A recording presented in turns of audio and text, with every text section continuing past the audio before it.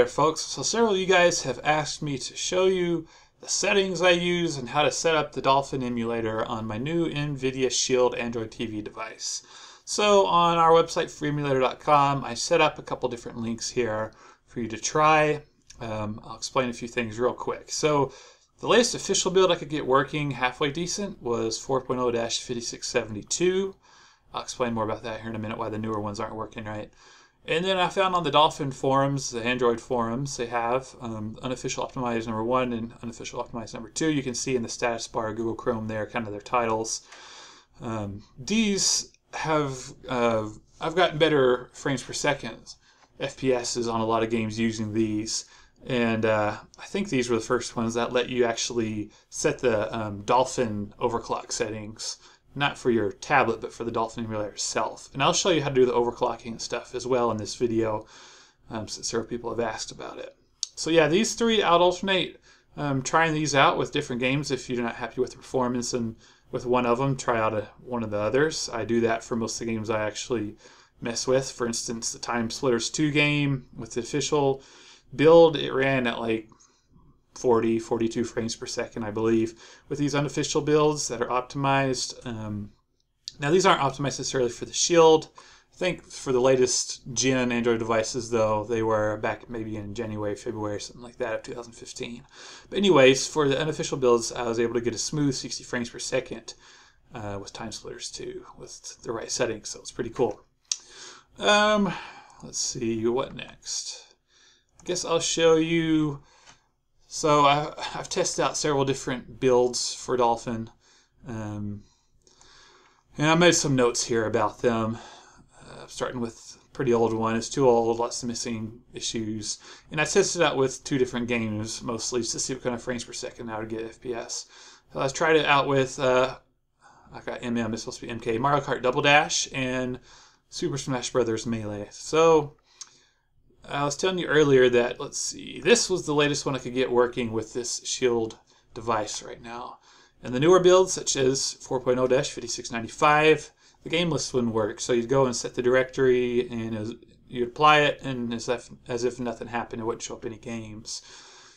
Um, let's see. But now starting with 6000, it would work.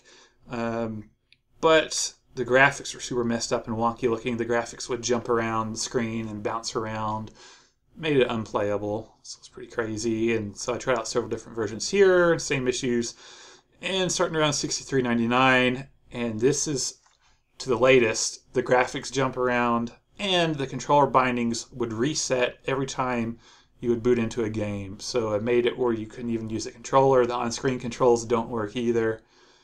Um, you can't even adjust on-screen controls to move them around on the screen. It just, as soon as you try to do that, it kicks you back right to the Dolphin menu. So yeah, I tried out the latest versions too, as of this uh, video making. I think they're up to 6621 or something by now.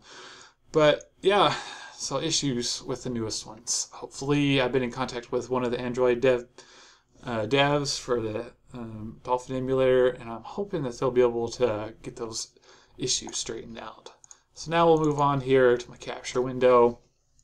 I just want to show you how to install the emulator, some settings I'm using, how to um, overclock, all that good stuff. So we'll go down here. You got to have some kind of a file manager. I like to use the ES File Explorer myself. This is so you can sideload uh, the app. You have to do this for any for, for most apps. There are some that are built for the actual um, Android TV device that I'm using. But um, so we'll go ahead and install this here Master 5672 APK.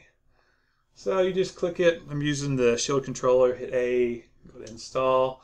And now, if you haven't set up your device um, to install APK files from unknown sources, you're going to have to do this. Um, it'll, it'll pull up a little screen and it'll ask you to go and set it up in your um, settings. And it's real easy. You just got to turn it on. But I've already done that, so I'm not going to show you about that. We'll go ahead and install. Sorry if my voice, voice is fading in and out. I'm looking at a couple different screens right now. So go ahead and open up the emulator real quick. And I've got a mouse plugged into my device. It's kind of hard to configure this with the controller. Sometimes I'm sitting here clicking different directions and it won't go to the right list. It's kind of messed up. So anyways, first we'll do the browse folder. This is just to locate your ROMs directory. I did have this set as just plain ROMs of A underscore ROMs, but whenever um, I did that, some of the newer builds, it wouldn't let you scroll up and down, so I could never see it. So I set to AROMs and it's all good. So I'll go to GameCube and just click on any of these files here. And then it brings up your list of games, so that's easy enough. You should know how to do that. So now we'll go into the actual settings. So I like to enable dual core. That really, really speeds things up. Fast mem as well. So the CPU core, the interpreter, you're going to get terrible speeds with that. So you want the JIT ARM64 recompiler. Um, we'll go do the bindings here in a minute. So we want definitely the OpenGL software render also makes it terribly slow.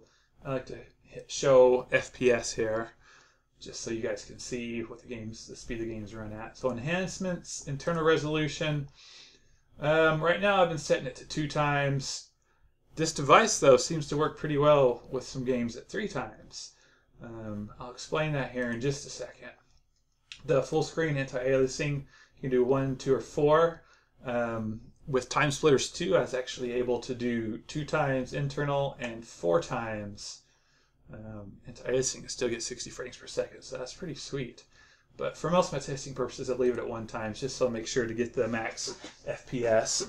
Go back over here to my computer screen real quick. Let me downsize this.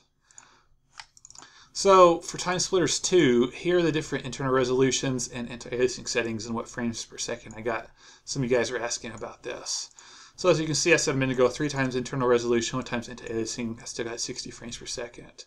And even with uh, three times internal, internal resolution, four times anti-aliasing, I can't talk, 55 to 56 frames per second. So that's pretty good. And you can uh, stop, pause the video if you want to see more of those. Go back into here real quick.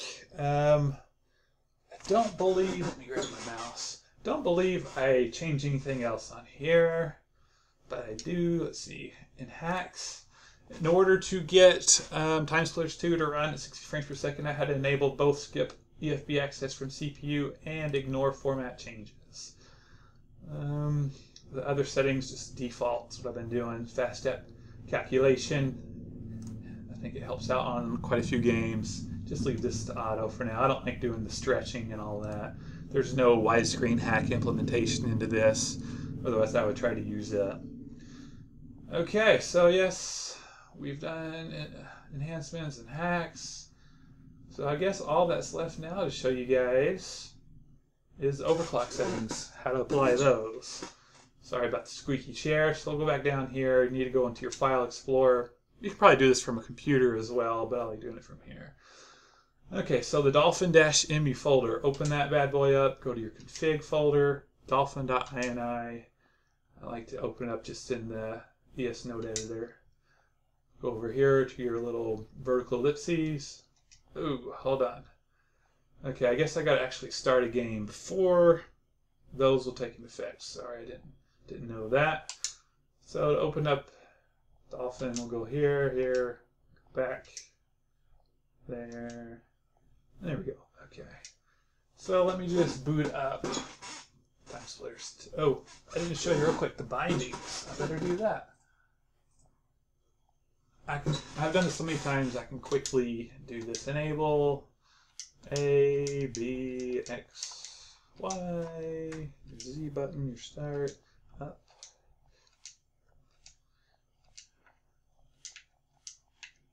Okay. Almost down here. Couple more to go. Okay. Um, so we'll go ahead and start up TimeSplitters 2 and hit the little back button on the controller. I'm going to disable the input overlay, get rid of that.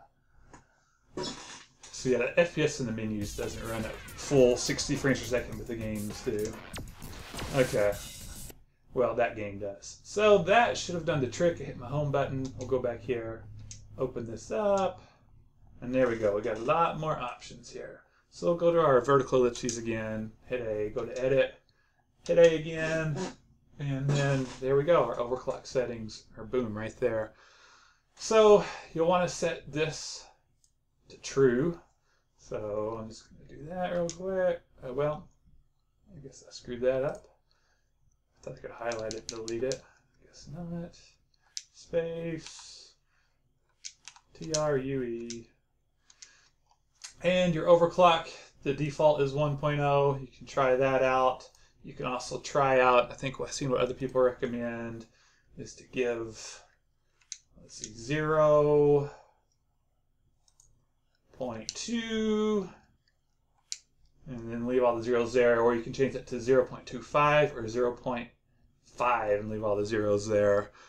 And then you just hit your back button, your B button on the controller if that's what you're using. Hit it again. You want to save? Yes. And then you can leave that open if you want so you can quickly access it again if you want to change, you want to mess around with your overclocking functions. But that is going to do it, folks. Um, I guess I should show you one more thing when you're switching between apps.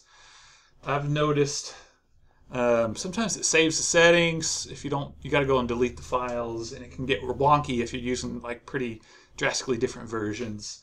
So we'll go here to apps, our Dolphin emulator, uninstall it, hit OK. But that doesn't do everything. You got to go back to your file browser, whatever you're using. So you'll go back. As you can see, still have the dolphin-emu folder. To delete it, um, I use the controller. I just hold down A when it's highlighted. It'll check it. Then scroll down to the bottom. Boom, boom, boom, boom, boom. Hit delete. Hit OK.